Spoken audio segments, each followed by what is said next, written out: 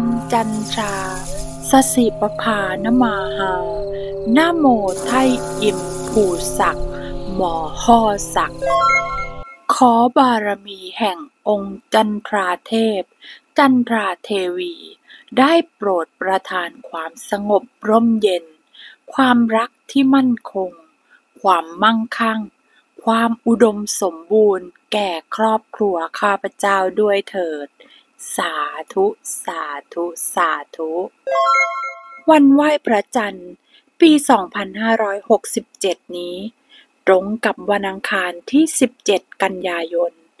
ซึ่งนับเป็นอีกหนึ่งเทศกาลสำคัญ ที่รองลงมาจากตรุษจีนก็ว่าได้ค่ะ การไหว้พระจันทร์ เป็นธรรมเนียมยึดถือปฏิบัติกันมาอย่างยาวนาน เป็นวันที่ พระจันทร์เต็มดวงส่องแสงสว่างมากที่สุด ซึ่งปีนี้ถึงแม้ว่าฝนจะตก แต่ในยามค่ำคืน ท้องฟ้าก็ยังคงสว่างไสวัยเหมือนเดิมค่ะ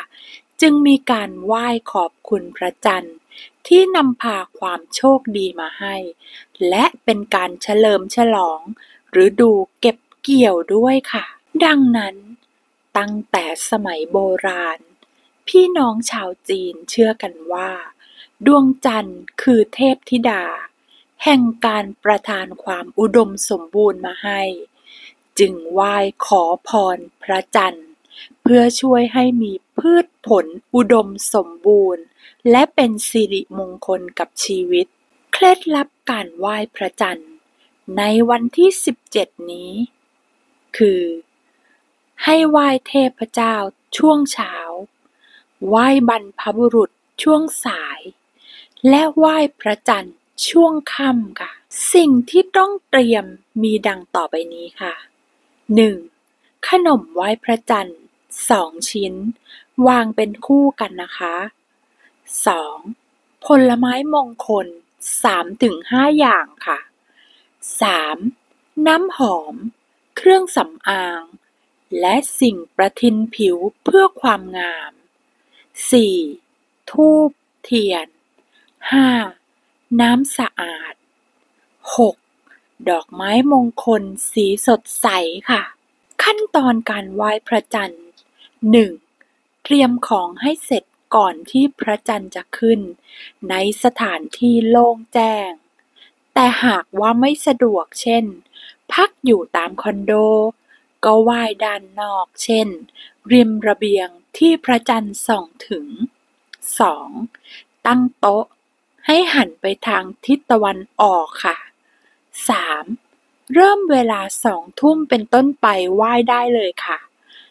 4. เมื่อจบพิธีไหว้พระจันทร์แล้ว ให้นำขนมไหว้พระจันทร์ มาแบ่งกันรับประทานภายในครอบครัว เพื่อความเป็นสิริมงคลนั่นเองค่ะคาถาบูชาพระจันทร์ อมจันทรา สสิปภานมาหา นะโมไทยอิม ผูศัก หมอห่อศัก ขอบารมีแห่งองค์จันทราเทพ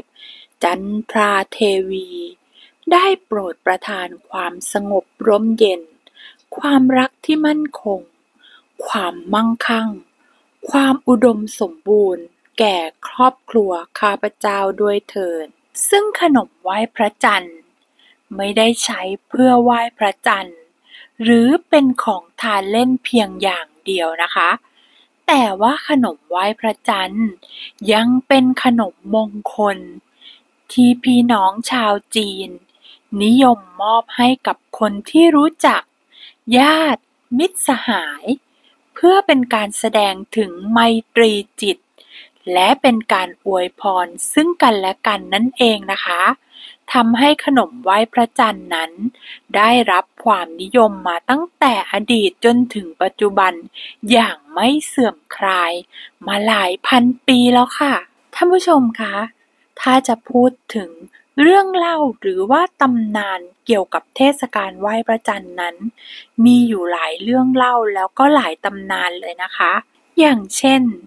ตำนานของเทศกาลไหว้พระจันทร์นี้เกี่ยวกับเทพกรนำจีน ที่เล่าถึงเทพธิดาแห่งดวงจันทร์ ที่ชื่อว่าฉางเอ๋อ ซึ่งเป็นหญิงคนรักของโฮอี้ นักยิงธนูแห่งสวรรค์ ที่ใช้ธนูยิงดวงอาทิตย์ตกลงไปถึงเก้าดวง จากทั้งหมดสิบดวง ซึ่งเป็นการกระทำที่ฝ่าฝืนบัญชาสวรรค์ จึงโดนลงทัน ให้ไปใช้ชีวิตธรรมดา เช่นมนุษย์ทั่วไปบนโลกมนุษย์กับฉางเอ๋อ แต่แล้วโฮอี้ก็ถูกคนสนิททรยศฆ่าตาย ส่วนฉางเอ๋อนั้น นางได้ดื่มน้ำอมฤต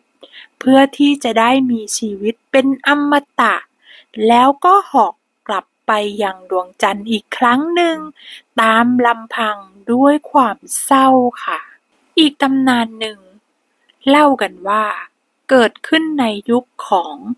ฮั่นเหวินตี้แห่งราชวงศ์ฮั่นได้ทรงพระสุบินว่า พระองค์ลอยขึ้นไปเที่ยวชมพระราชวังบนดวงจันทร์ แล้วได้พบกับแม่นางฉางเอ๋อที่กำลังร่ายรำอยู่อย่างงดงาม ซึ่งในพระสุบินนั้น พระองค์ทรงเพลิดเพลินและเกษมสำราญเป็นอย่างยิ่ง กระทั่งเมื่อตื่นจากพระบรรทม และโปรดให้พระสุบินนั้นเป็นความจริง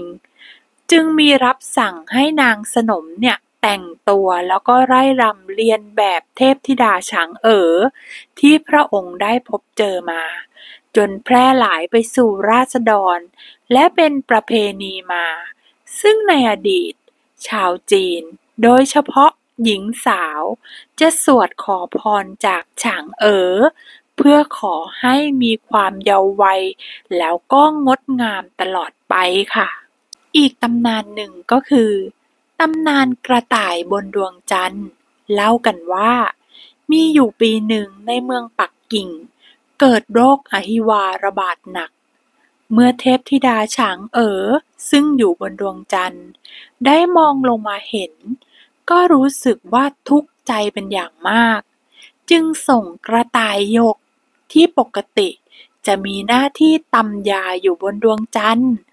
ให้ลงมารักษาโรคให้กับชาวบ้าน กระต่ายหยก แปลงกายเป็นหญิงสาว ออกรักษาผู้คนให้หายจากโรค ชาวบ้านรู้สึกซาบซึ้งในความช่วยเหลือ จึงได้ตอบแทนด้วยการให้สิ่งของ แต่กระต่ายหยกก็ไม่ยอมรับสิ่งใด ๆเลย เพียงขอแค่ ยืมชุดชาวบ้านใส่เท่านั้น เวลาไปไหน ก็จะเปลี่ยนชุดไปเรื่อย บางทีก็แต่งเป็นคนขายน้ำมัน บางทีก็เป็นหมอดูดวง เป็นชายบ้างหญิงบ้าง หลังจากกำจัดโรคให้กับชาวบ้านชาวเมืองจนหมดแล้ว กระต่ายหยกก็ขึ้นไปอยู่บนดวงจันทร์ นับแต่นั้นเป็นต้นมา ชาวบ้านจึงได้กราบไหว้บูชา เทพพระเจ้ากระต่าย ในวันไหว้พระจันทร์ด้วยค่ะ สำหรับประเพณีการรับประทานขนมไหว้พระจันทร์ ในวันไหว้พระจันทร์นั้นนะคะ เกิดขึ้นเมื่อสมัยที่มองโกเข้ามาปกครองประเทศแผ่นดินจีนนะคะ ชาวมองโกเนี่ยได้มีการส่งทหารของตน ไปประจำอยู่ในบ้านของชาวจีนครอบครัวละหนึ่งคน เพื่อสอดส่องดูแล มันทำให้ชาวจีนขุนเคืองใจอย่างมากค่ะ จนทำให้ท่านหลิวปัวเวินคิดได้วิธีหนึ่งก็คือ ให้นำกระดาษเขียนข้อความ แล้วสอดใส่ไว้ในขนม เพื่อเรียกร้องให้ชาวจีนทุกคน ลงมือสังหารทหารมองโก ที่ประจำอยู่ในบ้านของตนอย่างพร้อมเพรียงกันในวันเพ็ญเดือน 8 ทั้งนี้ เพื่อให้ชาวจีนที่ไปซื้อขนมมารับประทานกัน ได้อ่านข้อความดังกล่าว และช่วยกันกระจายข่าวนี้ออกไป เพื่อก่อการปฏิวัติโดยพร้อมเพียงกัน ณวันเพ็ญเดือน 8 จึงทำให้สามารถโค่นล้มอำนาจการปกครองของมองโก ได้ผลสำเร็จค่ะ และเพื่อเป็นการเฉลิมฉลอง และ รำลึกถึงการกอบกู้แผ่นดินที่ประสบความสำเร็จ ประเพณีการรับประทานขนมไหว้พระจันทร์ ในวันเทศกาลดังกล่าว จึงมีการสืบทอดกันตลอดมา